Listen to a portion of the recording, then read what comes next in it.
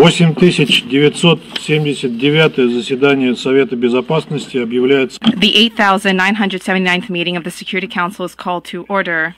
The provisional agenda of the meeting for today is letter from the permanent representative of Ukraine to the United Nations, dated Fe- 28 February 2014, addressed to the President of the Security Council, S slash 2014 slash 136. The agenda is adopted.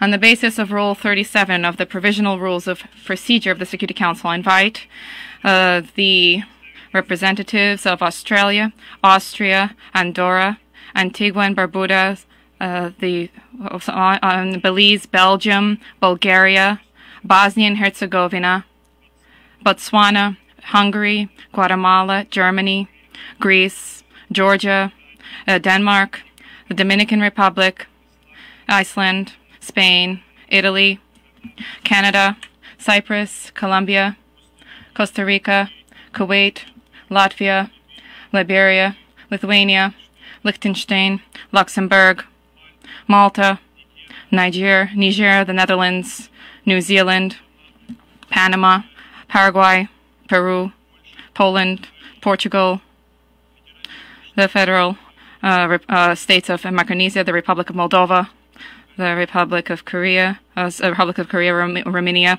uh, Samoa, Singapore, Slovakia, Slovenia, uh, Timor-Leste, Trinidad and Tobago, Turkey, Ukraine, Fiji, Finland,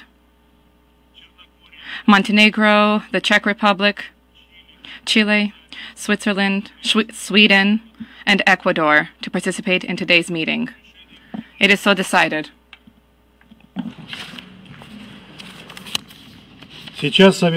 The Security Council will now begin its consideration of item two of the agenda. Uh, council members have before them document S 2022 155, the text of a draft resolution submitted by Australia, Austria, Albania, Andorra, Antigua and Barbuda, uh, uh, the Bahamas, Belize, Belgium, Bulgaria, Bosnia and Herzegovina, Botswana, Hungary, Guatemala, Germany, Greece, Georgia, Denmark, the Dominican Republic, Ireland, Iceland, Spain, Italy, Canada, Cyprus, Colombia, Costa Rica, Kuwait, Latvia, Liberia, Lithuania, Liechtenstein, Luxembourg, Malta, Niger, the Netherlands, New Zealand, Norway, Panama, Paraguay,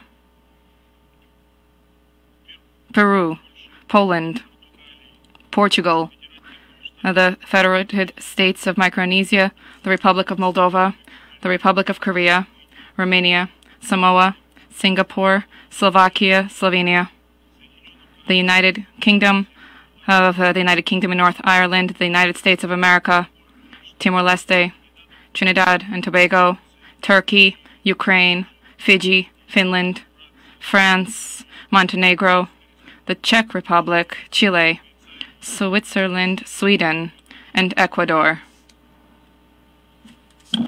Сейчас я объявляю, а потом даю слово. Э, Совет готов. The Security Council is ready to undertake a vote on the draft resolution before it. I now give the floor to those members of the Security Council who wish to deliver statements before the vote. I give the floor to the representative of the United States.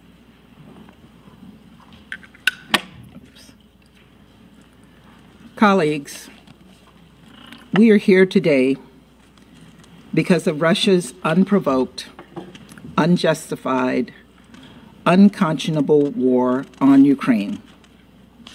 Let us never forget that this is a war of choice, Russia's choice.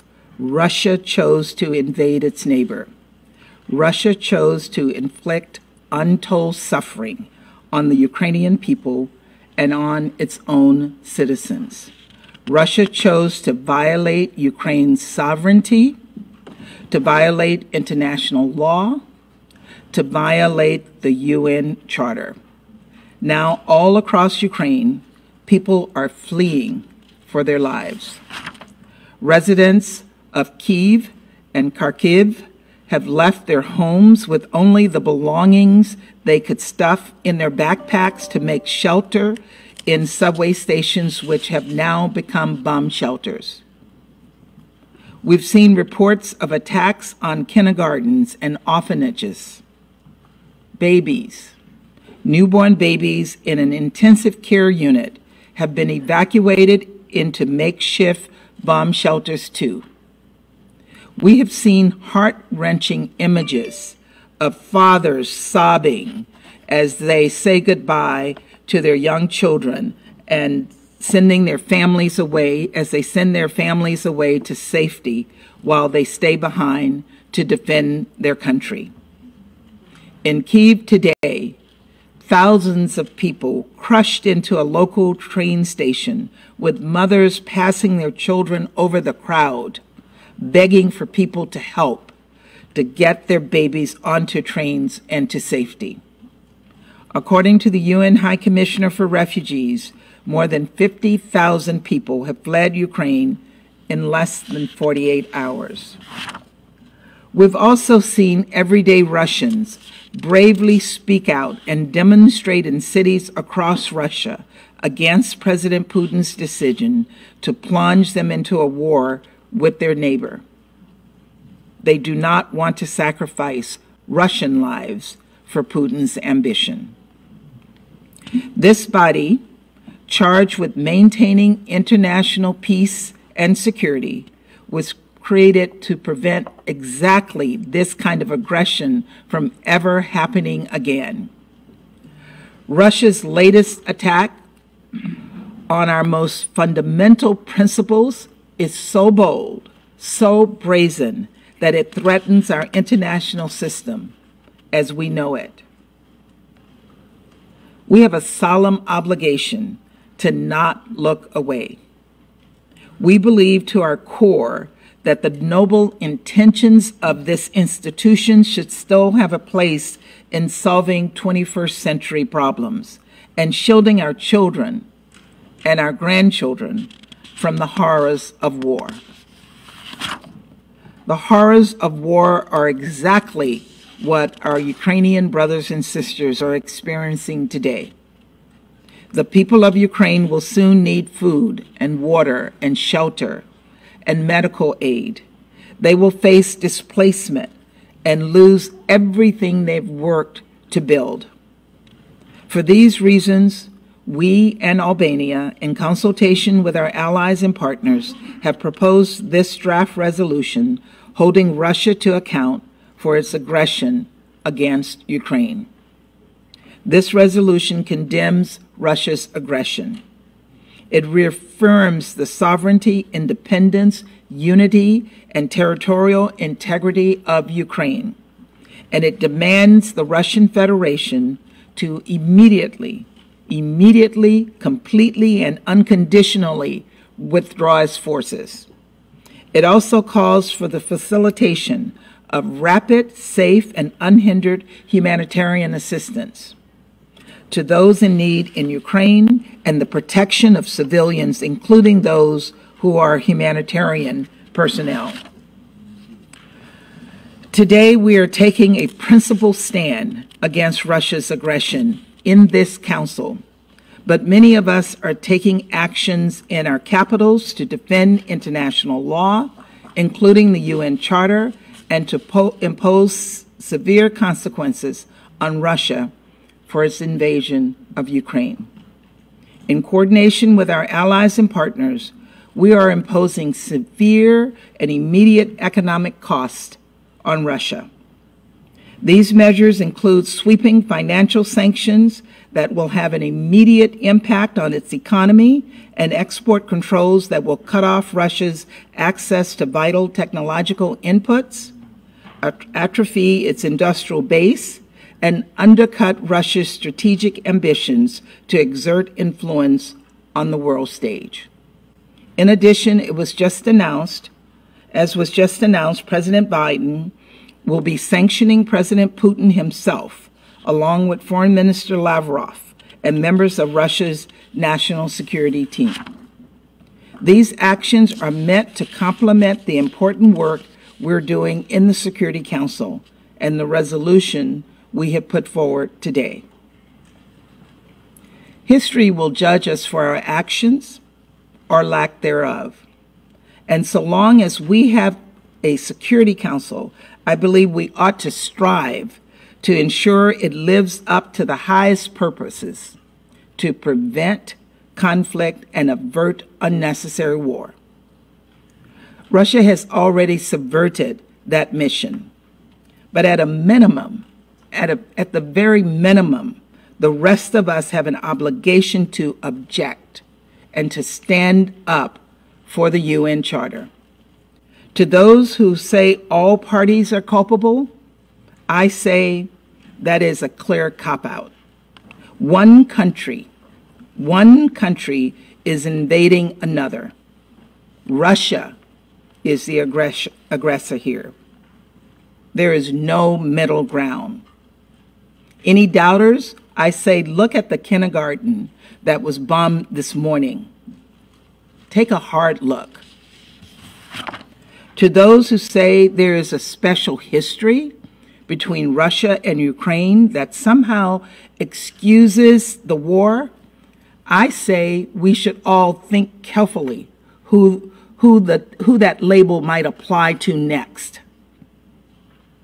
And as I said on Monday night, President Putin asserted that Russia has a rightful claim to all territories from the Russian Empire. And just a few hours ago, Russia threatened Finland and Sweden with military and political repercussions. Responsible member states do not invade their neighbors. They do not commit violence against their neighbors just because they have the ability to do so. That is the entire purpose of our international system. That is fundamentally the point of the Security Council and the United Nations. So, colleagues, this is a simple vote today. Let me put it plainly. Vote yes if you believe in upholding the UN Charter. Vote yes if you support Ukraine's or any state's right to sovereignty and territorial integrity. Vote yes if you believe Russia should be held to account for its actions. Vote no or abstain if you do not uphold the Charter and align yourselves with the aggressive and unprovoked actions of Russia. Just as Russia had a choice, so do you. Thank you. Спасибо. Сейчас I thank you and now give the floor to the representative of Albania. Let me start by stating that the, my delegation subscribes to what we just heard from the Ambassador of the United States. Dear colleagues, we are called today to express clearly and loudly where we, our states, stand individually and collectively with respect to international law that we have agreed to, with the principles enshrined in the UN Charter that we have agreed to, with international norms we have commonly established to govern our relations as independent and sovereign countries, as peace loving nations, as responsible international actors. As we speak, Ukraine is being bombed, people are being killed, a country in Europe is being destroyed by a more powerful country, its neighbor, that has decided it wants to turn the historic clock backwards. A prominent member of the Security Council to whom the world has given power and trust to decide on peace and security. Instead, that country has decided to rule and inflict death. With its unprovoked aggression, Russia is not only inflicting untold pain and causing an unprecedented humanitarian situation in Europe, it has stained the UN Charter with innocent blood. It is burying the Charter under the rubble of destruction in Kiev and other cities in Ukraine. We must say no, and it is not too late to stop this madness. Dear colleagues, the resolution that Albania and the United States, together with many partners, have presented condemns Russia's actions, underscores that Russia must immediately cease its use of force against Ukraine and withdraw its forces. It calls upon Russia to abide by the Minsk agreements. It also calls for facilitation of humanitarian assistance to those in need in Ukraine, and their number is growing by the hour, and urges continuous efforts to respond to the humanitarian and refugee crisis that Russia's aggression has created. The resolution echoes the call of the Secretary General addressed publicly to President Putin that in the name of humanity, bring your troops back to Russia. It echoes numerous similar calls at the highest level around the globe to stop war. This is the minimum we can do. We owe it to Ukraine, a member of the United Nations, to its people, to the world. Dear colleagues, this is a defining moment for the Council and not only. This is a day that will be long remembered on one single aspect, and our children, the future generations, will know who stood up for respect of human life, for international law, for rules, for solidarity with Ukraine, so that children, young girls, women, and men, just human beings, live their life free, in peace, and in dignity. And who did not? This is not a moment to look away. This is a moment to speak, and we call on the members of the Council to support the text so that we say no to aggression, we say no to an unprovoked war, we say no to the domination of a country by a more powerful one. And I thank you. Thank you. I now give the floor to the representative of the United Kingdom. Thank you. The UN Charter begins with a solemn invocation to peace. We, the peoples of the United Nations, determined to save successive generations from the scourge of war. That conviction has been the touchstone of the work in this chamber since 1945. We must not forget that our fundamental purpose here is to protect people and their futures. To protect people from violence and conflict that destroys lives.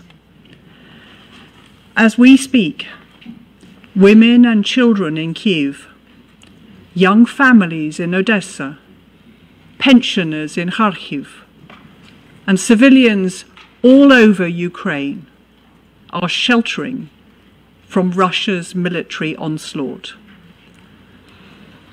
First, Russia claimed this was all Western hysteria. Then they said it was about Donetsk and Luhansk. Now they are bombing Kiev. We have seen dreadful images of Russian tanks crushing civilians in the Ukrainian capital. A country of 44 million people is being attacked on all fronts. Colleagues, the resolution we are voting on today is a message to those people that the world is on your side and stands with the Ukrainian people. It's a message to the world that the rules we built together must be defended, because otherwise who might be next. It's a message to Russia as well, to the brave Russian citizens who are protesting a war they do not want. This resolution demands an end to this war. Colleagues, President Putin has launched a massive invasion of Ukraine. His aim is to remove its government and subjugate its people. No fog of war is thick enough to obscure a truth this clear. This is not self defence under Article 51. It is naked aggression.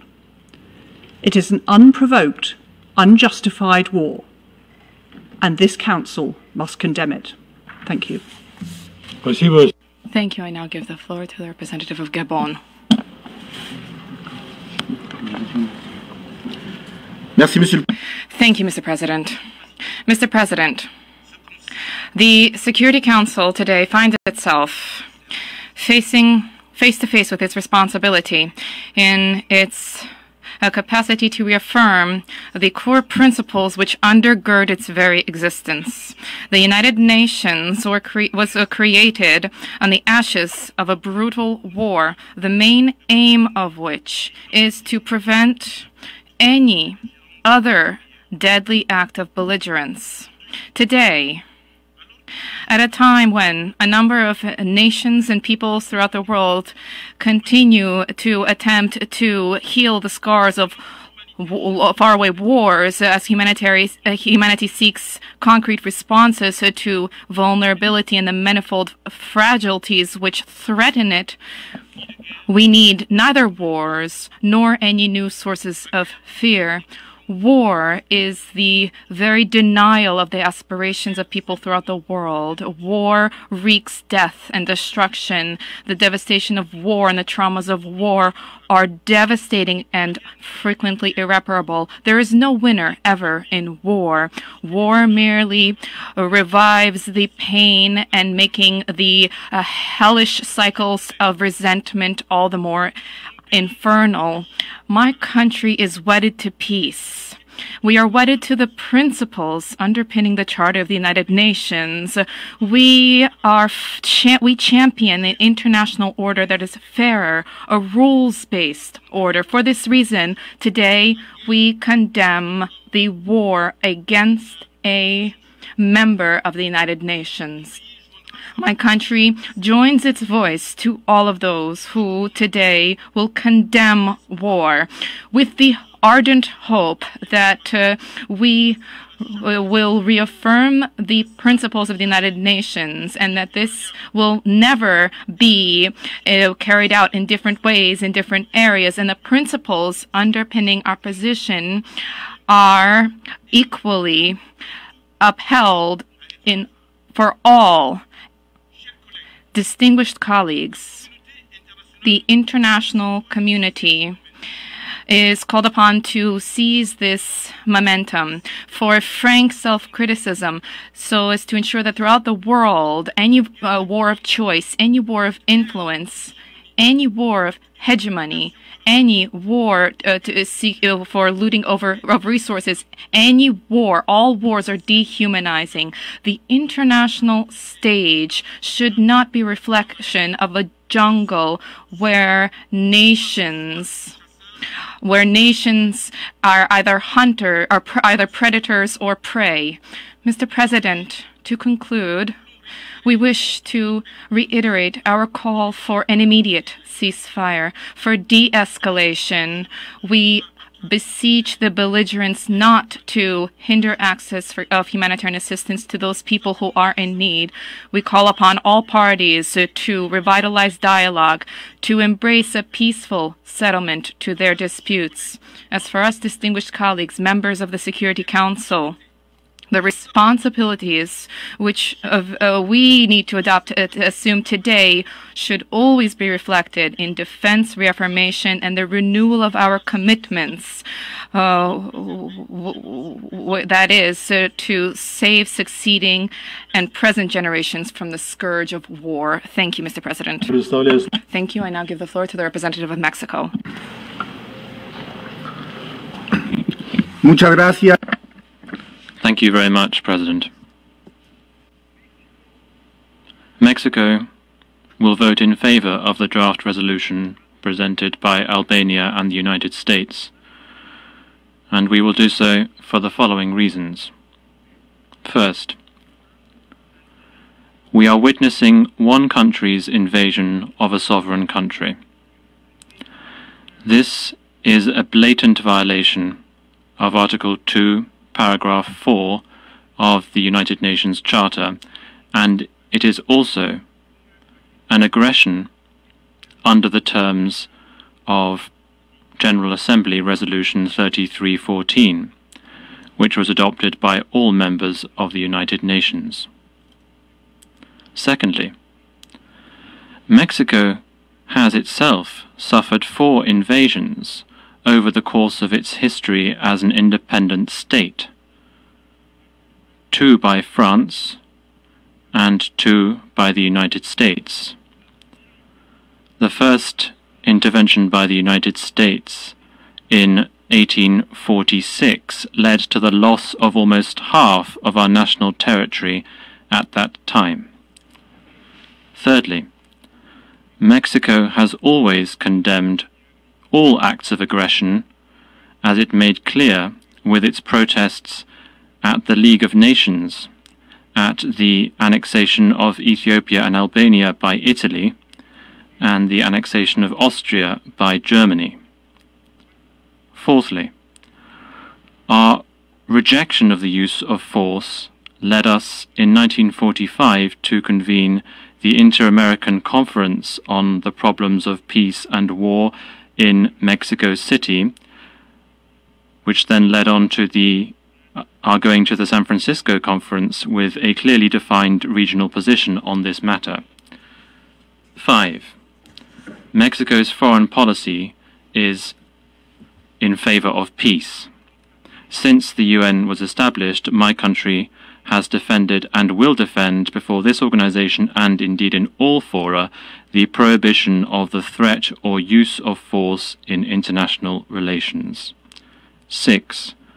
In 1988, we signed into our Constitution the principles of the United Nations Charter as normative principles of our foreign policy. As a result of all of the above, Mexico condemns the acts of aggression perpetrated by the Russian Federation against Ukraine. We call on the parties to immediately cease hostilities. We recognize the sovereignty, political independence, and territorial integrity of Ukraine, and we support the efforts of the UN Secretary General to seek a diplomatic solution to spare civilians any further suffering. President, as a result of our own experience and through a constitutional mandate, Mexico will support the draft resolution that we are considering. Thank you. Thank you. I now give the floor to the representative of Brazil.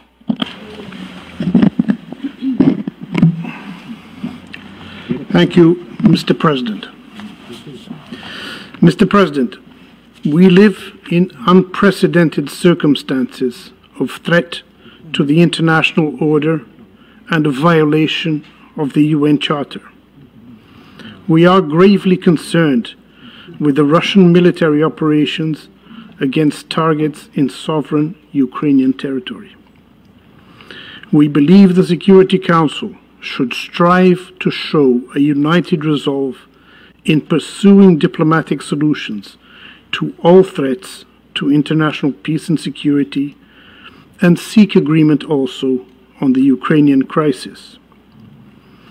As we hear reports of increasing civilian casualties, fear, and devastation in Ukraine, a scenario that any war inevitably generates, our main objective now is to immediately stop ongoing hostilities. How should we do that? First, the Security Council must swiftly react to the use of force against the territorial integrity of a member state. A line has been crossed, and this Council cannot remain silent.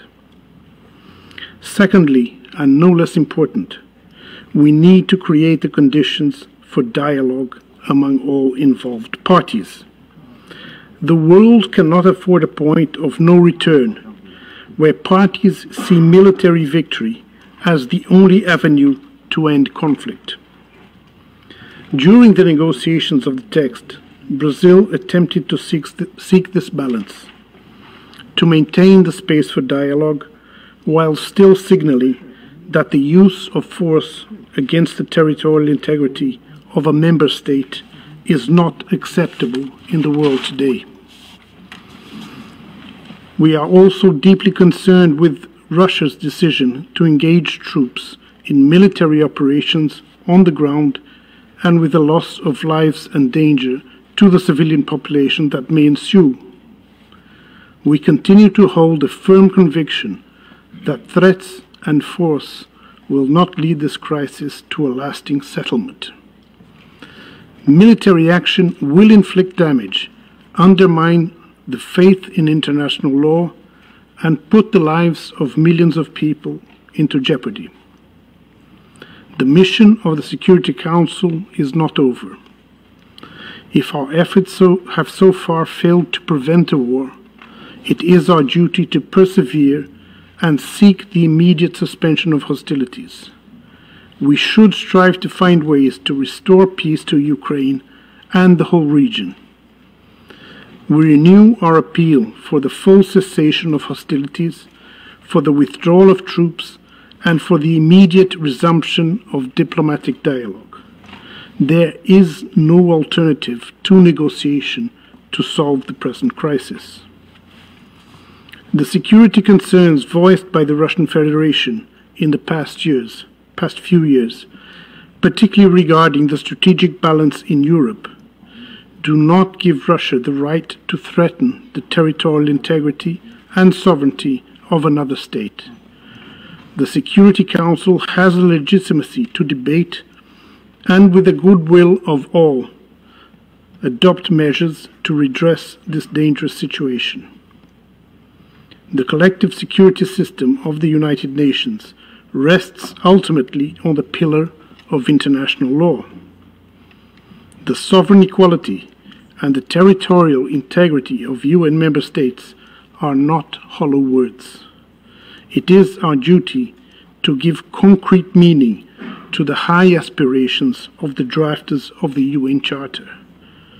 That is our most valuable legacy to rid ourselves from the scourge of war was the very reason for the establishment of the United Nations. In the end, peace and international order must prevail. We shall not rest until this mission is accomplished. I thank you, Mr. President. Спасибо. Thank you. I now will put the draft resolution to the vote. I request that those voting in favor of the draft resolution contained in document S 2022-155 to raise their hands.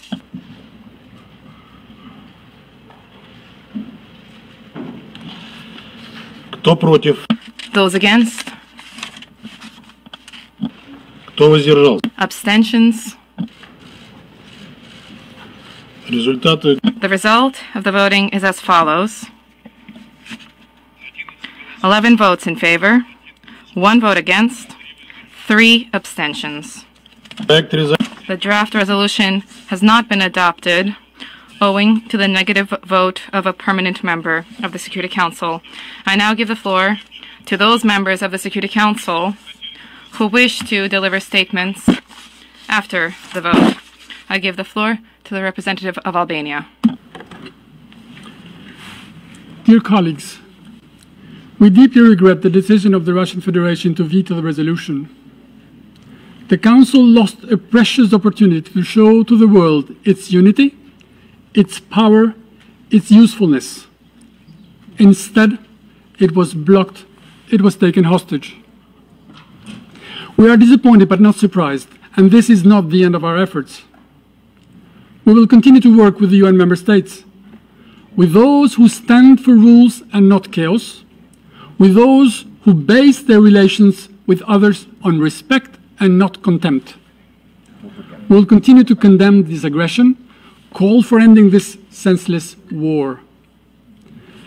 Russia may inflict damage, kill people, overthrow a legitimate government, try to destroy Ukraine, but as history teaches, it will never be able to kill freedom.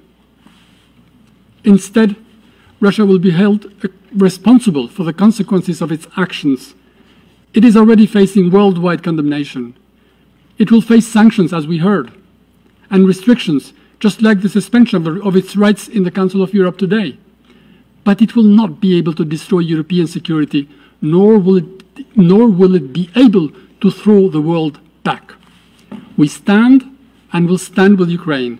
And as announced today by Prime Minister Rama, Albania, in its tradition, is ready, if needed, to shelter Ukrainians fleeing the war.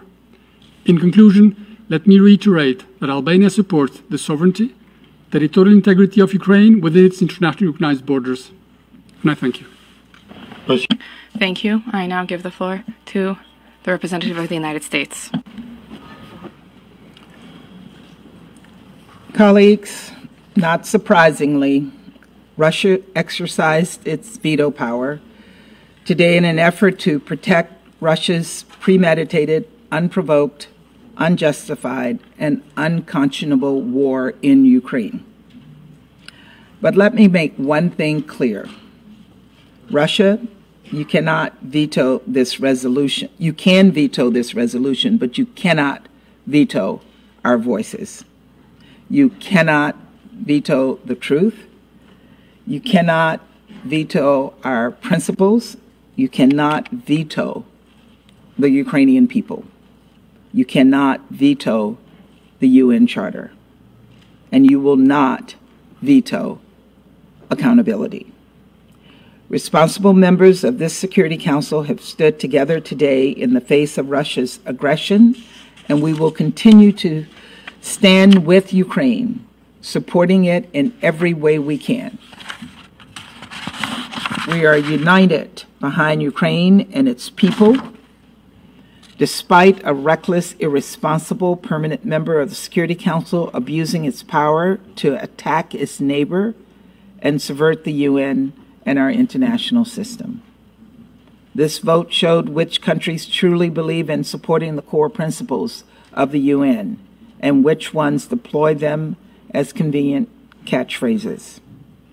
This vote showed which Security Council members support the UN Charter and which ones do not. We will be addressing this matter in the General Assembly, where the Russian veto does not apply, and the nations of the world can, will, and should hold Russia accountable and stand in solidarity with Ukraine. Before I conclude, I want to commend the true and tremendous courage we are seeing from the Ukrainian people. I want to thank the Ukrainian permanent representative who is here with us today. Earlier today, President Biden spoke with President Zelensky and personally commended the brave actions of the Ukrainian people who are fighting to defend their country. He also conveyed ongoing economic, humanitarian, and security support being provided by the United States, as well as our continued effort to rally other countries to provide similar assistance. It's hard to imagine what it must feel like to see tanks rolling into your city, to see bombs dropped on your streets, to see so- soldiers storm your parks and your gardens. But in the face of all of this, everyday Ukrainian people are taking extraordinary actions to protect their children, to protect their country, to defend everything they hold dear. I also want to commend the courage of the thousands of people in Russia who are protesting Putin's war, despite grave risk to their personal safety. They will keep chanting, no war. They will keep asking how many Russian lives Putin wants to sacrifice for his cynical ambitions. As we move forward, I hope more member states take their cues from this courage and honor all of this bravery with more of our own. Thank you. Thank you. I now give the floor to the representative of India.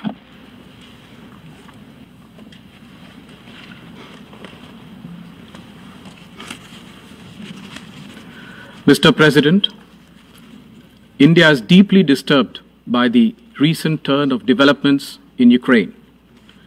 We urge that all efforts are made for the immediate cessation of violence and hostilities. No solution can ever be arrived at at the cost of human lives. We are also deeply concerned about the welfare and security of the Indian community, including a large number of Indian students in Ukraine. The contemporary global order has been built on the UN Charter, international law, and respect for the sovereignty and territorial integrity of states. All member states need to honor these principles in finding a constructive way forward. Dialogue is the only answer to settling differences and disputes, however daunting that may appear at this moment.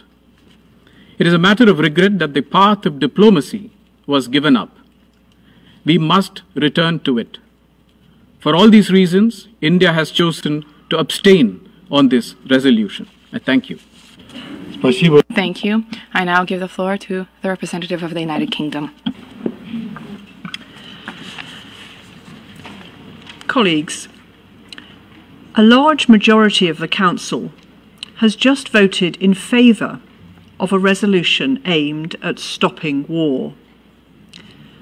The resolution has not been adopted only because of the single veto of the permanent member of this Council who is perpetrating that conflict. Russia claims that its invasion of Ukraine is in self defense. This is absurd. Russia's only act of self defense is the vote they have cast against this resolution today. Make no mistake, Russia is isolated. It has no support for the invasion of Ukraine. History will record how we voted today and which count- countries stood up to be counted in defence of the Charter and the sovereignty and territorial integrity of Ukraine. The United Kingdom stands steadfast in support of the Ukrainian people and will hold Russia accountable for its aggression. Thank you. Thank you.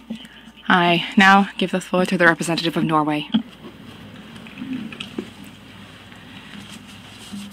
President, Norway voted in favor of the draft resolution. We deeply regret Russia's veto. Preventing and ending act of aggression is a direct responsibility of this Council. A veto cast by the aggressor undermines the purpose of the Security Council. It is a violation of the very foundation of the UN Charter. Furthermore, in the spirit of the Charter, Russia, as a party, should have abstained from voting on this resolution. On Wednesday, as we sat here in the Council chamber, we could see the shocking first images of what now amounts to a full scale Russian invasion of a free and independent UN member state. We can only imagine the hardship the people of Ukraine is going through. With their tanks, missiles, bombs, planes, warships, and cyber attacks, the Russian Federation's aggression not only violates the independence, sovereignty, and territorial integrity of Ukraine, it also constitutes a serious breach of international peace and security. Russia has disregarded the very core principle of the rule based world order that the United Nations has stood for since the Second World War. Let me be absolutely clear. Norway insists that the Russian Federation immediately, completely, and unconditionally stops all fighting and withdraws all of its forces from the territory of Ukraine. Russia must respect the principles and purposes of the UN Charter. Norway expresses full sol solidarity with Ukraine and the Ukrainian people in the face of Russian aggression. Indeed, we already see the dire consequences for civilians, with casualties and injuries of large numbers of children, women, and men. We fear increased suffering in the time ahead. with potentially large numbers of casualties and extensive destruction of civilian infrastructure, such as schools, medical facilities, water, and electricity plants. We see fighting unfolding in and around urban areas. We are deeply concerned about the long-term and protracted harm to the civilian population caused by such warfare, including by the use of heavy explosive weapons. We already see mass displacement. This will only increase, together with trauma, family separation, and missing persons. The situation is a tragedy, both for individuals and the Ukrainian society at large. The parties to the conflict in Ukraine must comply with their obligation under international law, including human rights law and international humanitarian law, and ensure the pr protection of the civilian population and detainees. Space for neutral and impartial and independent humanitarian action must be protected to ensure safe, rapid, and unimpeded humanitarian access to those in need. We condemn in the strongest possible terms Russia's military aggression against Ukraine. This Council must now carry out the great responsibility of its mandate and act in a determined and united manner to stop the ongoing aggression against a UN member state. We also condemn Belarus for facilitating these attacks. Norway will join our allies and partners in swift and concrete countermeasures. This includes the alignment of Norway to the intensified sanctions of the European Union. Let me conclude by reiterating Norway's unwavering support for Ukraine's sovereignty, territorial integrity within its internationally recognized borders. Thank you. Thank you. I now give the floor to the representative of Ireland. Mr. President, Ireland voted in favour of the draft resolution presented by the United States and Albania in response to the flagrant violation of the UN Charter, of international law, and of the sovereignty and territorial integrity of Ukraine by the Russian Federation. The Russian Federation has turned its back on diplomacy. It has spurned genuine offers of dialogue and rejected repeated calls from the international community for de escalation. Instead, it has launched an unjustified and unprovoked attack on Ukraine. An attack that continues today to rain death and destruction on Ukraine and its people. We condemn these actions outright. In casting our vote today, we do so in full solidarity with the people of Ukraine. This Council has a responsibility to act in the face of conflict, to protect international peace and security, to uphold the principles the world agreed upon in response to the utter devastation of the Second World War. This is not a responsibility that Ireland takes lightly. Yet it is one that we were prevented from discharging today in spite of the clear and declared will of the great majority of this Council's members. Mr. President, we deeply regret the use of the veto today by the Russian Federation. The veto is an anachronism which has no place in today's world. The use of the veto to block Council action is always unacceptable. Its use today in blatant defence of military aggression is reprehensible.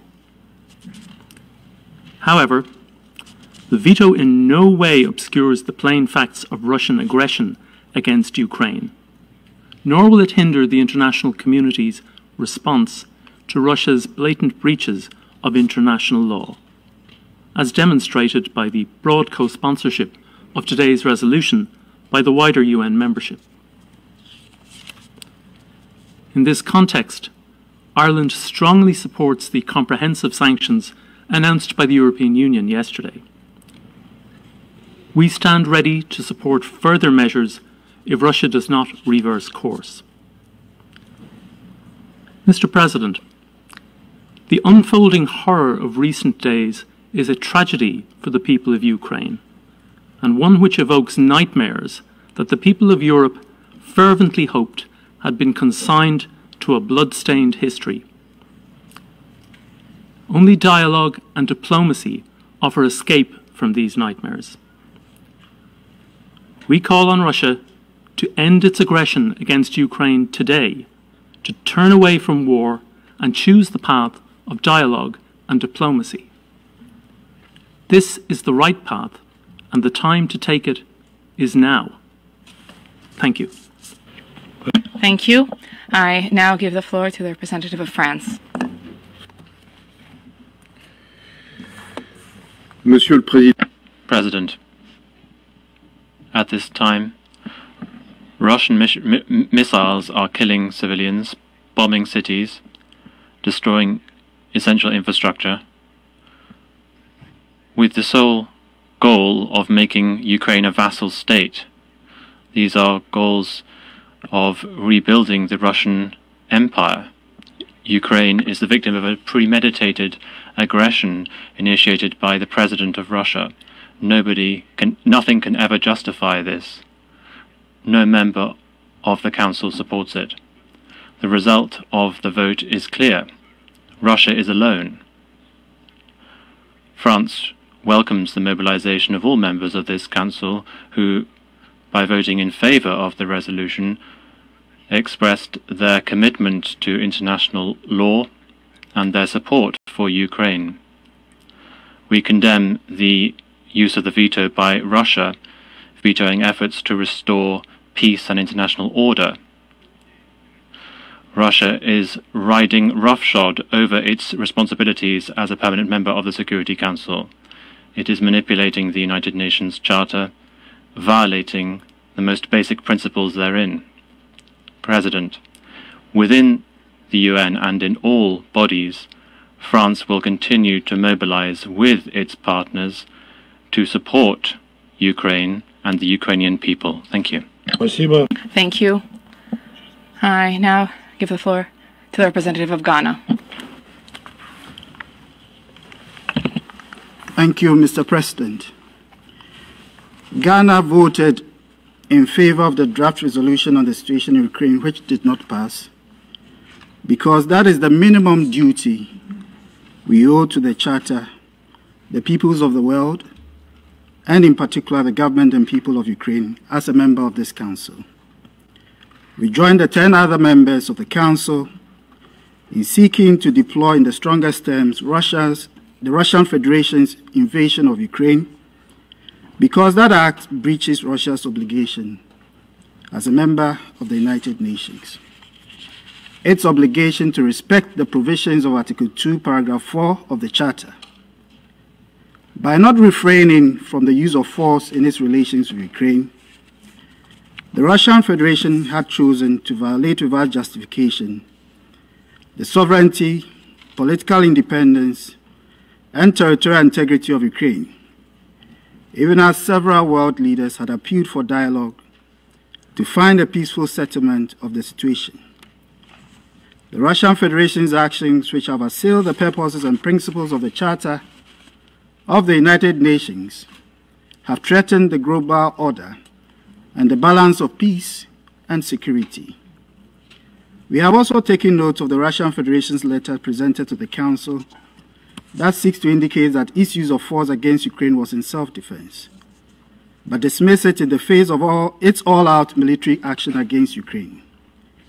We are pained by the unnecessary and rising number of deaths that have been occasioned by the invasion, and we call on the Russian Federation to immediately withdraw its forces from Ukraine and to recommit to dialogue and diplomacy. Besides our own assessment that Ukraine presented no imminent threat to the Russian Federation, the letter is also interpreted within the context of Russia's own public declarations over the course of the past days, which have shown to the world that rather than a security merit, this has been about the use of force against its weakened neighbor, because it could. At the beginning of its military build-up on the borders of Ukraine, we were told that what was being observed was a normal military exercise. when concerns over the massive buildup were made, the Russian Federation informed the world that its troops were on its side of the borders and had no intention of crossing the frontiers of Ukraine. At the point, we were also informed that troops were being considered to be sent to the Donbas region of Ukraine in the context of peacekeeping. Today, the whole world knows better. As we met in an emergency session on Wednesday night to afford yet another opportunity for peace, the trust and good faith crucial for diplomatic engagement was broken in a cruel and dismissive manner. The battle against Kiev may yet be won, but the goodwill of the world has been lost. The use of force as a basis for secure international agreement has no place in our modern international order, and the world cannot accept this. Ghana is deeply disappointed by the actions of the Russian Federation, a permanent member of the Security Council. Its actions have fallen short of the higher standards expected of all those states that are considered as the enduring guardians of international peace and security. Indeed, for those members of the Council with a special privilege, there is also special responsibility. I reiterate Ghana's full support for the sovereignty, political independence, and territorial integrity of Ukraine in accordance with the Charter. At a time that the world looked up to the Council to send a strong message that threats and use of force against other states are unacceptable, we have been unable to do so, not because there is no broad agreement to do so, but because the way and manner the Security Council has been structured to function has constrained us. The present situation creates difficult choices, which we all must consider and carefully reflect upon as we proceed with the long-standing efforts to reform the United Nations Security Council and how it operates. Fortunately, the ongoing process in the General Assembly provides an opportunity, and all member states must genuinely commit to that process. If we fail to act proactively, our inactions would cost us permanently. Before concluding, let me indicate Ghana's continuing concern over the situation of the civilian populations in all parts of the internationally recognized borders of Ukraine, as well as the welfare of more than a thousand Ghanaian students and several nationals in that country. We recall that in accordance with international humanitarian law, there are consequences for unlawful actions against civilian populations. Also, as the Secretary General rightly said in his press engagement on Wednesday night, the invasion of Ukraine by Russia would come at great cost to most of our countries. Already, oil prices have gone beyond $100. Inflation in most of our countries have begun to rise. Investment decisions are being pulled back. The already difficult situation of economic stagnation triggered by the COVID-19 pandemic is beginning to worsen. The consequences of these adverse developments is that the fragility of most of our countries will deepen and further risk created for global stability. The actions that have taken place ag against Ukraine are therefore far-reaching and require even greater solidarity. First, with the people of Ukraine who bear the direct and immediate impact of this unjustified action that violates the Charter and the principles of international law, but also for the many, especially developing countries, whose populations are facing severe austerity. May we find the wisdom and common purpose to overcome the difficult moment we face. Ours is the call for peace. Let's give peace still yet a chance. I thank you. Thank you. I now give the floor to the representative of Brazil. Mr. President, Brazil regrets that the Security Council was unable to react to a breach of international peace and security that is still happening as we speak. During the negotiations, Brazil favored a text that could maintain space for dialogue among all the parties, while sending a decisive message for respect to international law and to the basic principles that for more than 75 years have saved us from a war of wide proportions. We thank the proponents for their flexibility in several aspects of the draft during the negotiations. Mr. President, the framing of the use of force against Ukraine as an act of aggression in the draft, a precedent that has seldom been used in this Council, signals to the world the gravity of the situation, but could also downplay other times when force was used against the territorial integrity of member states with no equivalent reaction from the Council. Indeed, we could have ended up with a text that is more conducive to reconciliation. Brazil has fought for that.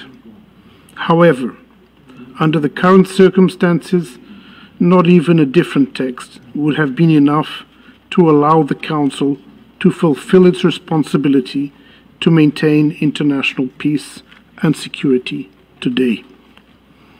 No country, elected or non elected, with or without veto power, should be able to use force against the territorial integrity of another state with no Council reaction.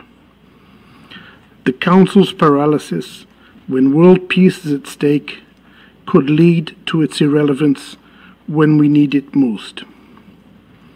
It is our collective responsibility not to allow this to happen. I thank you. Thank you. I now give the floor to the representative of the United Arab Emirates. Thank you, Mr. President. Uh, the serious developments in Ukraine, we all agree, undermine regional and international peace and security. And throughout this crisis, my country has consistently called for de escalation and dialogue. We placed great hope in the various diplomatic initiatives and channels aimed at resolving the crisis, and those calls reflected our alarm at the consequences of this crisis for civilians present in Ukraine as well as for the region and for the international community. And we emphasize the importance of ensuring that humanitarian assistance reaches those in need and call on all parties to respect international humanitarian law, prioritize the protection of civilians, and allow for the unhindered delivery of humanitarian assistance. We further believe that every member state of the United Nations has the right to security, sovereignty, independence, and territorial integrity. Being from the Middle East, we are intimately aware of the critical importance of a stable regional security environment and of de escalation, diplomacy, and dialogue as the basis for that security. Similarly, we understand from experience and share the need for inclusive and consultative processes. We support the draft resolution's emphasis on the need to adhere to the principles of international law and to the Charter of the United Nations. And that must be the basis of the resumption of dialogue and the pathway forward now that that resolution has not been adopted. The UAE restates its commitment to the territorial integrity, sovereignty, and independence of all member states of the United Nations. We urge for immediate de escalation and cessation of hostilities, and we once more underscore our readiness to work with members of this Council towards that goal. The results of this vote were a foregone conclusion, but the avenues for dialogue and diplomacy must remain open more urgently than ever before and we must pursue them together. This is the clear sentiment that this Council is united on. Thank you. Thank you. I now give the floor to the representative of Kenya. Mr. President, Kenya has voted in favor of the draft resolution to affirm Article 2 of the United Nations Charter that all members shall refrain in their international relations from the threat or use of force against the territorial integrity or political independence of any state. We voted yes to register our opposition to the breaching of the territorial integrity of Ukraine by the Russian Federation. We voted with hearts that are heavy with sympathy for the people of Ukraine.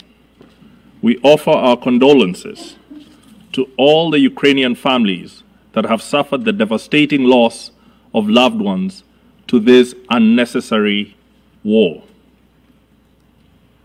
Our affirmative vote today transcends the tragedy unfolding in Ukraine.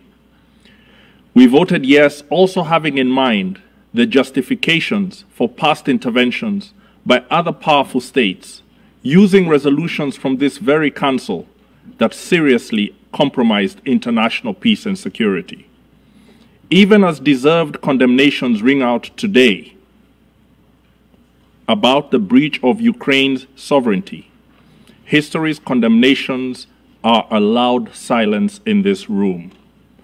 We cannot help but recall that Africa's Sahel region is in terrible turmoil due to the hasty and ill considered intervention in Libya a decade ago. On that occasion, the African Union sought more time for diplomacy. Its counsel was ignored, and what resulted was not peace or the safety and security of the Libyan people. Instead, terror was unleashed on African peoples in the countries to the south of Libya. There have been yet other actions of similar magnitude that have brought us to this unfortunate pass. Today, the precious fabric of our charter lies torn and trampled and threatened with further harm if there is no urgent and visionary leadership with a faith in diplomacy pushing in the opposite direction. If the United Nations Charter could speak for itself, it would vote for this resolution to affirm its central role in safeguarding our collective peace. It would remind all members of the Security Council and the United Nations that the Charter contains the tools for the pacific settlement of their disputes by negotiation, inquiry, mediation, conciliation, arbitration, judicial settlement, resort to regional agencies or arrangements, or other peaceful means of their own choice. By failing to adopt this resolution, we deeply regret that the Security Council has failed to stop the infringement of the sovereignty of a member of the United Nations. I thank you. Thank you. I now give the floor to the representative of China. Thank you, Mr. President. Mr. President, China is deeply concerned about the latest developments of the situation in Ukraine. Now it has come to such a point which we do not want to see. China wants always forms its own position on the basis of the merits of the matter at hand. We believe that the sovereignty and territorial integrity of all states should be respected and that the purposes and principles of the UN Charter should be jointly upheld. We have always called on all parties to seek reasonable solutions to address each other's concerns through peaceful means on the basis of equality and mutual benefit. We welcome and encourage all efforts for a diplomatic solution. And we support the Russian Federation and Ukraine in resolving the issue through negotiations. In the past week, the Security Council has held two emergency meetings, and all parties have fully elaborated on their positions and concerns on the current situation. At present, faced with a highly complex and sensitive situation, the Security Council should make a necessary response. At the same time, such a response should also be taken with great caution. All actions should be truly conducive to diffusing the crisis rather than adding fuel to fire.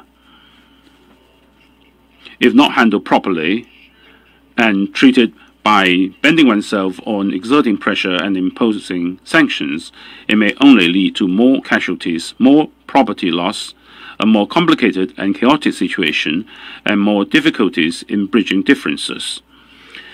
It may completely shut the door to a peaceful solution, and eventually it is the vast number of innocent people that will be the victims.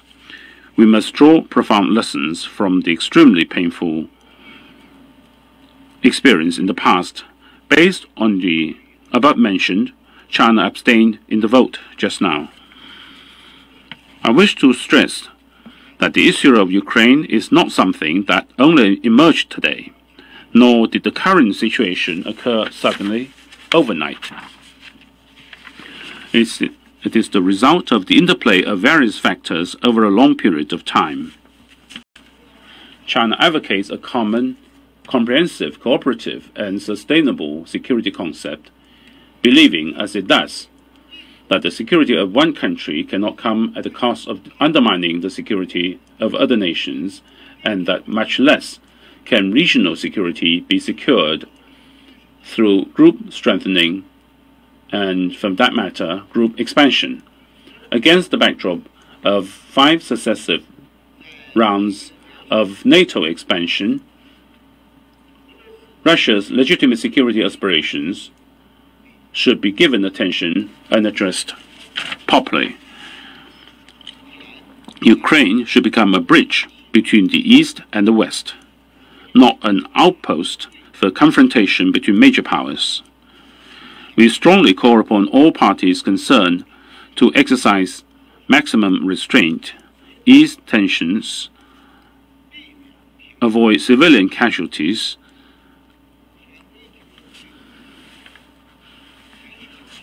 The final settlement of the Ukraine crisis still requires abandoning the Cold War mentality, giving full attention and respect to the legitimate security concerns of all countries, and conducting negotiations to build a balanced, effective, and sustainable security, European security mechanism. We urge all parties to return immediately to the track of diplomatic negotiations and political settlement, show sincerity, uh, sincerity and goodwill make a political decision and engage in dialogue and consultation for a comprehensive settlement of the Ukraine issue. I thank you, Mr. President. Thank you. I shall now deliver a statement in my capacity as the representative of the Russian Federation. The Russian Federation voted against the anti-Russian and anti-Ukrainian draft resolution of the Security Council that was submitted today. Why is it anti-Russian? I think that there is no need to explain. Why it suffices to have uh, merely cast a cursory glance at the text. Why is it anti-Ukrainian? This is because the document, beyond any doubt, runs counter to the fundamental interest of the Ukrainian people insofar as it is an attempt to salvage and cement in Ukraine that system of power which which brought the country to the point of tragedy, which has now been ongoing for at the very least eight years now. We thank those who did not support this draft. I will not respond to those who just accuse the Russian Federation of abusing uh, the veto right. Well, the main reason for our negative vote is not the fact that there is what is included in the draft, but what is left out. If its sponsors were attempt to, to were to attempt to make it even remotely balanced, then they would not have left out issues which must be addressed and cannot be overlooked in the context of the Ukrainian problem. Specifically, they would not, uh, what was left out is the fact that those who assumed and seized power as a result of the anti-constitutional coup in Kiev in February 2014, I refer to the Maidan junta, the way that they unleashed a war against the residents of the country's east, shelling residential areas with artillery pieces and multiple rocket launchers, raining bombs on the people of Donetsk and Lugansk. What was left out was the way that the Ukrainian authorities, with the encouragement of their Western patrons, consistently and cynically shirked their responsibility to implement the Minsk agreements, the linchpin of which was direct dialogue with the residents of the country's east. At the same time, what was positioned on the line of contact, the deployment of Ukrainian death squads, quad squads comprised largely of radical neo-Nazi battalions, methodically, day after day, shelled the residential areas of DPR and LPR, killing women, children, and the elderly. And incidentally, this is ongoing today. Just today, four civilians died as a result of the actions of the Ukrainian armed forces. And how can we fail to mention the blood chilling crimes by the Ukrainian nationalists as perpetrated over the past eight years? The fact that the protesters against Maidan in Odessa were burned alive.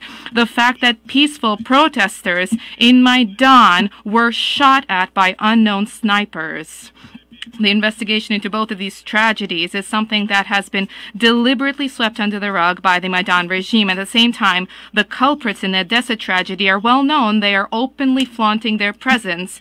And yet an alternative investigation and the recognition by the snipers themselves unambiguously confirms that the slaughter on the pla- uh, at, at Independence Square was a provocation by the leaders of Maidan. We specifically last year carried out an informal Security Council meeting, an Arria formula meeting on both of these issues, with the aim of sharing with Security Council colleagues more information about this. And yet, in response, at best, what we heard from Western pon- uh, partners were merely hackneyed cliches about so called Russian propaganda. How can there be a resolution on the Ukrainian issue without these above mentioned issues being mentioned? It would have been wise to include in the draft of an honest assessment of the role of Western colleagues in inflating this Ukrainian crisis. Not only did they stand behind the Maidan coup, but they also effectively issued a carte blanche to Kiev to carry out any acts, any steps that would be unthinkable for any civilized state.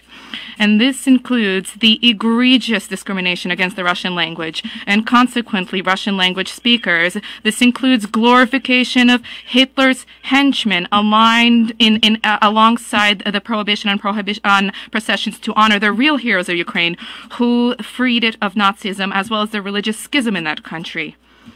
As you spin tales about the triumph of democracy in Ukraine, the Maidan authorities and nationalists have been, with impunity, murdering their political opponents. They have been persecuting the opposition. They have been shuttering opposition television channels where it was possible to at least have some small dose of relatively objective information. Six of them, six of those television channels were shuttered under President Zelensky alone. And how can we fail to mention the fact that weapon has been flooded with weapons, weapons that were used then to kill civilians in Donbass. Donbass, you have made Ukraine a pawn in your geopolitical game with no concern whatsoever about the interests of the Ukrainian people. Responsibility for what is transpiring at present lies not only with the Ukrainian government, but it also lies at your feet, ladies and gentlemen. And today's draft resolution, your draft resolution, is nothing other uh, than yet another brutal, inhumane move in this Ukrainian chessboard. Colleagues, today all Western media outlets have been inundated with reports about how civilian populations in Kiev and a host of other Ukrainian cities have been seeking shelter in bomb shelters and they are fighting for their lives and uh, fleeing artillery fire. We are genuinely empathize with our neighbors and we urge them not to yield to provocation. President Putin and the Russian Defense Ministry explicitly stated and clearly stated that there would be no strikes targeting civilian uh, infrastructure, but nationalists are already using civilians as human shields. Specifically, we categorically uh, condemn the placement by nationalists in residential areas of artillery and multiple rocket launchers. This is a direct breach of the norms of international humanitarian law, including Articles 51 and 58 to the first additional protocol of the Geneva Conventions. We see the way the situation is being exploited in propagandistic exercises by Western politicians and media outlets. I would like to ask you, where were you eight years ago? Why were you unmoved when there was murder and artillery strikes in Donbass? Why didn't you even bother to notice that there are four, more than four million people living in DPR and in LPR who at best were branded pro-Russian separatists? Why didn't you repudiate Poroshenko when he said that the people, that the residents of Donbass would rot in basements? Or Zelensky, why didn't you repudiate uh, him when they called them non-people and uh, specimens? Parenthetically, I cannot but note that at the height of propaganda, our colleagues very frequently use imagery from Donbass, brandishing them as alleged consequences of the so-called Russian aggression in Ukraine. These kinds of fakes are abundant and proliferating today. They have flooded the internet and a number of uh, telegram channels. And there are uh, videos uh, uh, of Russian, alleging Russian strikes targeting residential areas, which were filmed in other parts of the world and in, uh, have nothing to do with Ukraine. This was mentioned today by the British Broadcasting Company, the BBC, having issued an article, Ukraine conflict, many misleading images have been shared online. Everything is there. There are photographs of parades, of photographs of American aircraft which bombed Libya, and photographs from Syria, and even, even an explosion in Beirut, Beirut, which is being uh, portrayed as uh, what is transpiring in Ukraine. I will send this uh, article to you, distinguished members of the Security Council, separately. And specifically, I wish to turn to my French, the French, British, and American colleagues. Uh, the permanent uh, representative of France said that in Ukraine, what is uh, taking place is um, the murder of civilians. That is untrue. Russian troops are not bombing Ukrainian cities. And we said uh, that they are not threatened by anything. There is no verifiable confirmation whatsoever about the deaths of civilians. The permanent representative of the United Kingdom, I would note that what you are portraying as what uh, alleging that Russian military aircraft uh, military pieces are uh, targeting civilians. I saw the reports today, and I would like to report that this you can see from the videos that this is a heavy tank uh, uh, uh, uh piece, which is called Str uh, Strela 10, Arrow 10. And this is in the possession of the Ukrainian armed forces. The Russian military does not have this kind of equipment. They are obsolete. This is the kind of fake uh, pieces of information that you are using. Our U.S. colleagues, I would note that uh, this, with respect to, to the alleged bombing of the kindergarten, that too is fake. Of course, it is difficult for us to uh, compete with the United States in terms of the number of invasions uh, uh, targeting their neighbors. I will refrain from uh, listing out the aggressions carried out by the United States in their history, but you are in no position to moralize. To conclude, I wish to emphasize we are not waging a war against the Ukraine, against Ukraine or the Ukrainian people. We are carrying a special operation against uh, nationalists and for the protection of the residents of Donbass, for denazification and for demilitarization. These objectives will soon be achieved, and the Ukrainian people will be will gain an opportunity to once again independently determine their future, living and in so doing to live in peace, good neighborliness, and cooperation with all of their neighbors. I now resume my duties as a president of the Security Council, and I give the floor to the representative of the United States for an additional remark, for additional remarks. Colleagues, I um, asked to take the floor uh, for a different reason, and I, so I'm not going to respond to uh, the atrocious lies and uh, propaganda and misinformation that you just heard from our Russian colleague. What I asked to take the floor for was to uh, recall uh, the names of some of our colleagues who were not named earlier due to the rapidly um, uh, moving uh, response to, to these events in Ukraine. Some of them were uh, were left off, who were sponsors of, of the resolution, and I'd just like to highlight uh, their names because we so appreciate what they have done. Uh, Barbados, Croatia, Estonia, the Gambia, Grenada, Haiti, Jamaica, Japan, Kiribati, Lesotho, Marshall Islands, Monaco, North Macedonia, Palau, Papua New Guinea, and Suriname. I want to thank you and all of you uh, for your support. Uh, we will continue to all speak in one voice in the days ahead to address the atrocious situation that we see happening every day on the ground, despite what we've heard from our Russian colleagues. Um, I now thank you. Спасибо. Thank you. And I now give the floor to the representative of Ukraine.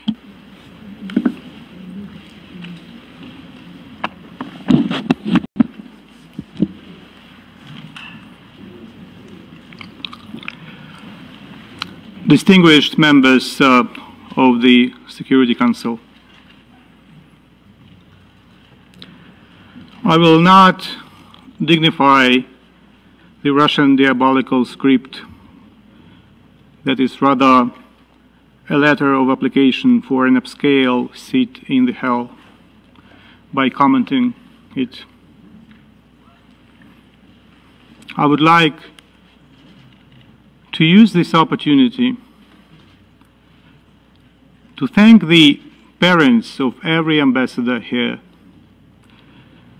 to thank the people of the democratic nations who put these ambassadors in their seats.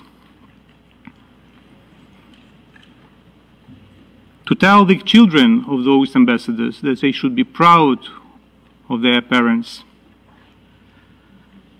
that they have voted in favor of the resolution. I thank my good friend Nicolas from France, Rolando from uh, Brazil, my good friend Hoxha from Albania, Linda, Barbara, Mona, my good friend from Mexico, Martin from Kenya, Ireland,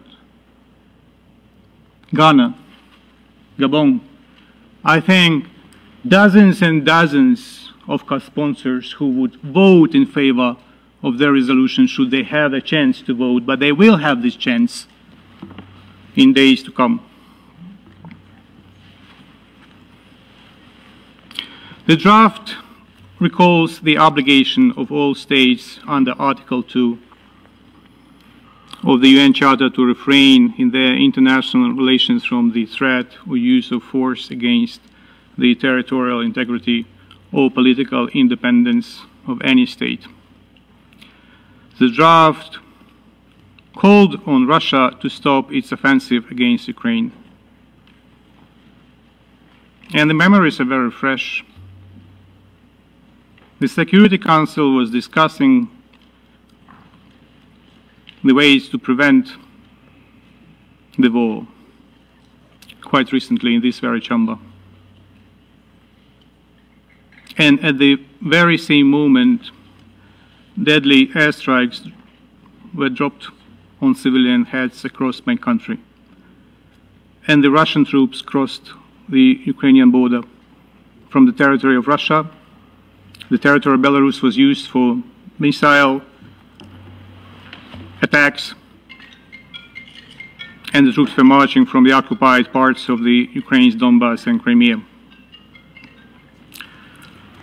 Last night was the most horrific for Kiev since, just imagine, 1941. And it was attacked by Nazis last night was attacked by someone who pretends they are fighting with neo-Nazism. Therefore, I'm not surprised that Russia voted against. Russia is keen on continuing its Nazi-style course of action. The Kremlin regime should not be called Russian regime. The Kremlin regime should be called Russist regime. A couple of hours ago, my president said, and I quote, Tonight, the enemy will use all the forces at their disposal to break our resistance, vile, cruel, and inhuman. Tonight, they will storm. We must all understand what awaits us. We have to persevere tonight. The fate of Ukraine is being decided right now. End of quote. We just heard something that the Russian ambassador wanted to present, pres present as assurances from himself and from his leadership that it's all provocation. And that he urged us not to yield to, pro pro to provocations. Do you remember how many times he said that and uh, his deputies said in this very room that there will be no invasion, no attacks? Do you remember how during the previous session he was moving, walking out of uh, the chamber trying to call someone, not knowing what was going on? How we can trust you? How we can trust your assurance? You have no idea what is on the mind of your president. Your words have less value that, than a hole in the New York pretzel.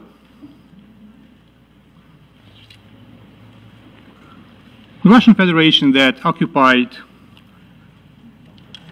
by treachery the seat of the Security Council member in 1991 violates daily not only the Charter but also the provisions, provisional rules of uh, procedure of this Council. Because if Russia did not violate the provisional rules, then Mr. Nebenzia had to follow Article Rule 20. Let me quote. I begin the quote. For the proper fulfillment of the responsibilities of the presidency, he should not preside over the council during the consideration of a particular question with which the member he represents, that's the Russian Federation, is directly connected. He, the rule reads, shall indicate his decision to the Council not to preside.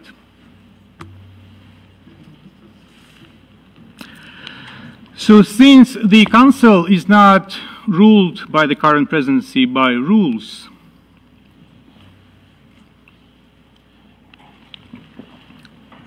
I will be probably also unruly.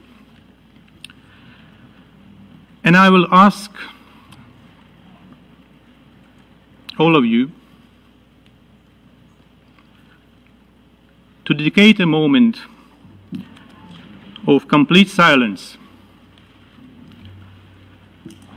to pray or to meditate if you do not believe in God, for peace,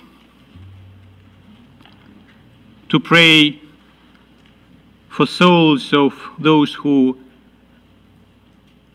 has been already killed, for souls of those who may be killed. And I invite the Russian ambassador to pray for salvation. Please, ladies and gentlemen, let us spend a moment in a complete silence. I do apologize, but before moving to a moment of silence, I want to include in the list those people who perished over all these years in Donbass. They also are worthy of being mentioned. Any, uh, all human lives are valuable. Let's not forget them either. But let's, ladies and gentlemen, spend a moment in complete silence. Thank you.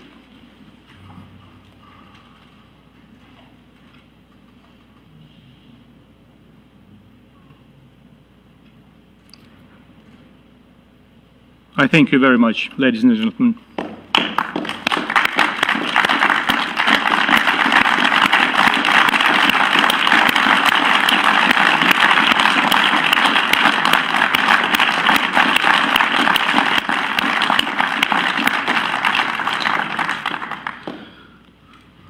Let me continue with my statement.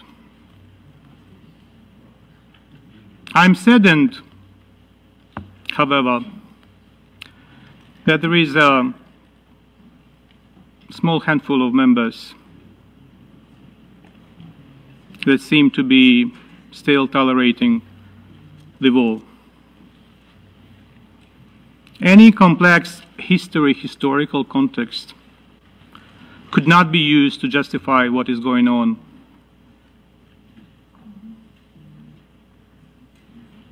And I may say to some, it is exactly the safety of your nationals right now in Ukraine.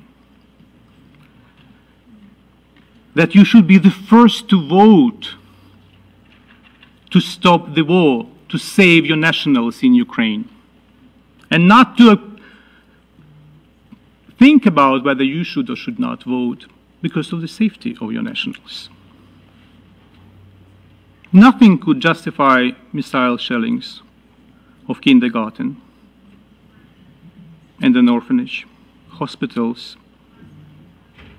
that happened today. And in fact, you know, one of my relatives uh, got a stroke a couple of days ago, and the person cannot be evacuated even to the shelter because the person is not movable. So the person is in the hospital in the city of Kiev. These attacks are war crimes and violations of uh, the Rome Statute, whether you party to it or not. We are collecting these and other facts and will immediately send them to The Hague. And responsibility is inevitable. Nothing could justify today's deliberate, deliberate shelling by, by a Russian warship of a Moldovan flagged chemical tanker with the Russian crew. Imagine. Or a Panamanian flag cargo ship near Odessa port in the Black Sea. It is a flagrant violation of international law of the sea. Is it a time to discuss historical reflections against the backdrop of the alarming situation in the Chernobyl nuclear power plant? Seized by the Russian armed groups.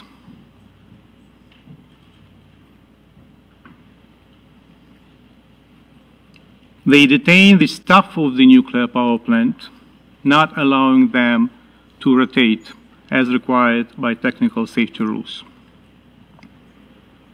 Another matter of alarm that the control levels of gamma radiation, those rates in the exclusion zone have already been exceeded because of the damage of the topsoil due to the movement of a large number of heavy military equipment, including tanks. And as a result, uh, there is contamination by radioactive dust. Dear Security Council members, as of previous night, midnight, almost 140 persons were killed on the Ukrainian side and 316 persons wounded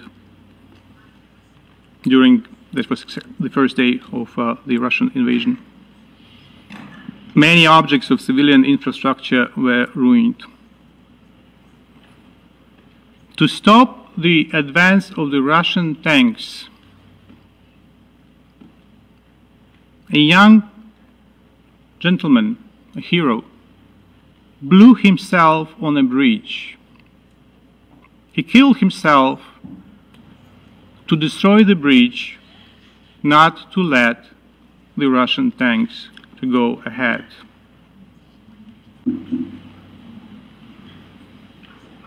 But the destruction takes place not only in cities.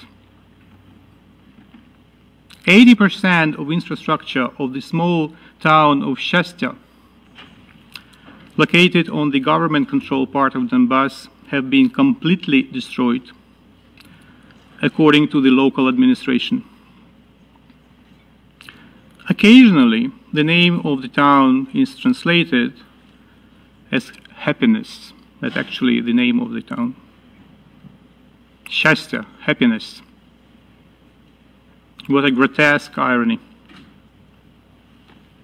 It speaks volumes what kind of happiness the Russian Federation is bringing to Donbass, to Ukraine, to other nations. Sooner or later, if we continue to allow Russia to go ahead with its diabolical plan. And rest assured, Ambassador, there will be no hospitality to your troops on our territory.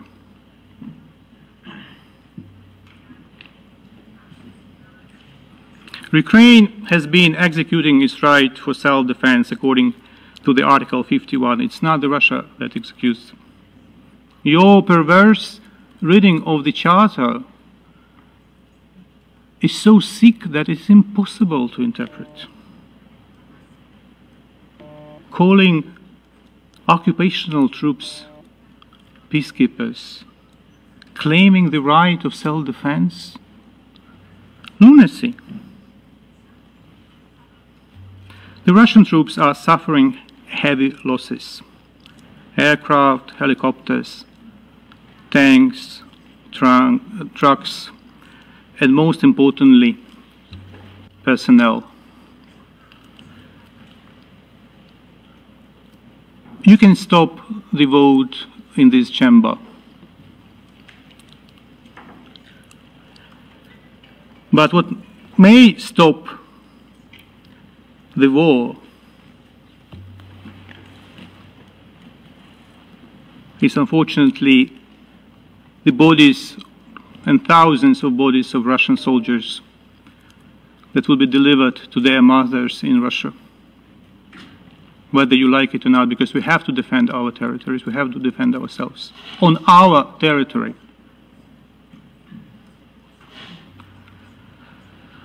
Thousands of Ukrainians have already joined the Ukrainian army or territorial defense forces. And the resolve and dedication of civilians joining the territorial defense forces is the best proof that we will not surrender, even if you succeed to temporarily occupy additional chunks of our territory.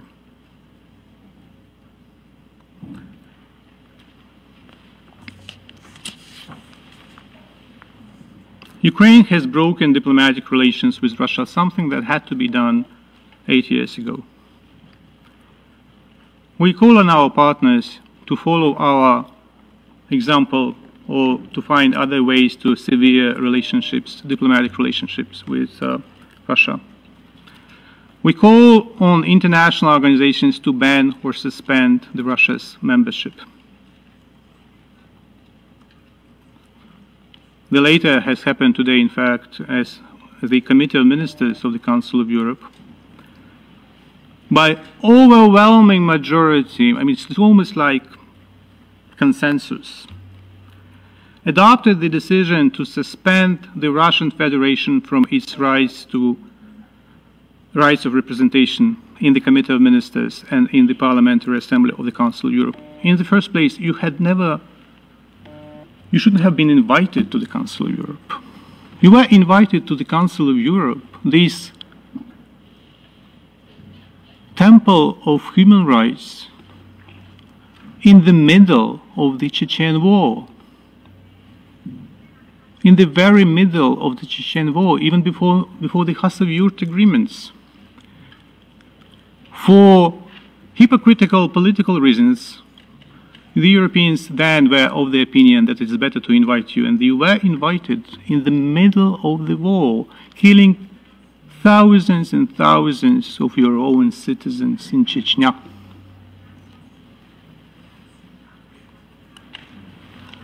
We count upon the proper reaction by the international community to medieval atrocities by Russia in Ukraine. For today, a number of countries have uh, already imposed sanctions on Russia. And the burden must be heavy.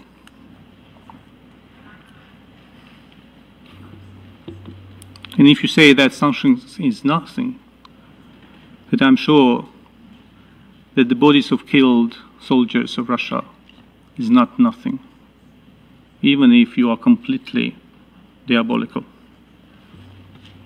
We are sincerely grateful to the UN for its prompt decision to support the humanitarian response in Ukraine, as well as highly, as well as we highly commend the UN efforts to encourage major humanitarian donors to make additional funding available. I thank the Secretary General for his statement to this effect. And I have a plea. Stop harassing the Secretary General. Stop attacking him. Show respect to the institution. Stop wiping your feet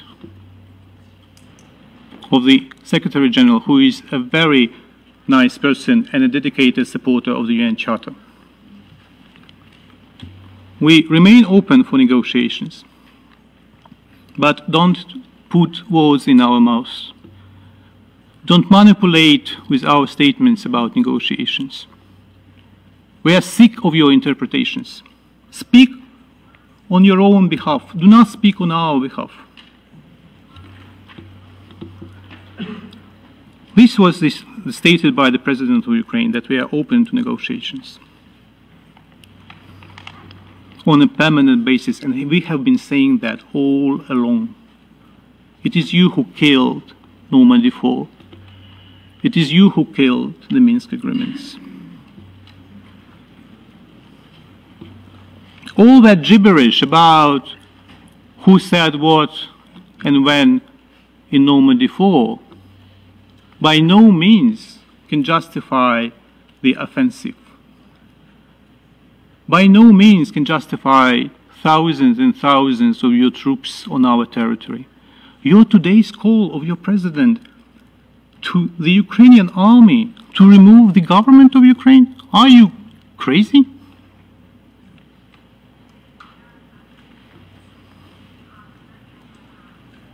Show respect for the core principles enshrined in the UN Charter. Sovereign equality, non-use of force or threat of force against territorial integrity and political independence. In my opening remarks, I said that parents of ambassadors here, all ambassadors but you, are proud of their children. And children of the ambassadors are proud of their parents. It's so painful to think what your family think about you when you lie every day. The Russian people deserve peace, democracy. The Russian people deserve liberty, and they will have it. If not tomorrow, because tomorrow is not possible, then probably in near future. Thank you. The list of speakers is exhausted. Prior to concluding today's meeting, I wish to comment just on one thing and to calm members of the council. There was a, a lot uh, to comment on, on the representative of uh, Ukraine. I will leave the uh, boorishness at, at his conscience, on his conscience. This is a matter of his conscience, that is the boorishness with which he has addressed the council. But I say one thing. This is a report yesterday. The Russian Defense Ministry, yesterday, 24 February, uh, the units of the Russian paratrooper division uh, took full control of area in the Chernobyl nuclear power uh, plant area. Military services uh, took the uh, by Ukraine uh, an agreement was reached to, about the joint provision of security for the sarcophagus and other uh, units in the uh, uh power plant. We do not want Ukraine to generate a dirty bomb. The representatives of the uh, Defense Ministry noted that personnel of the stations, uh, stations continue to carry out service there, and they are monitoring the radioactive situation, the ra their radioactive situation. And this is a report from Vienna. The level of radiation in the Chernobyl nuclear nuclear power plant is low. The threat to population does not exist. This was announced on Friday by the uh, Director General of the IAEA. The list of speakers is closed. The meeting stands adjourned.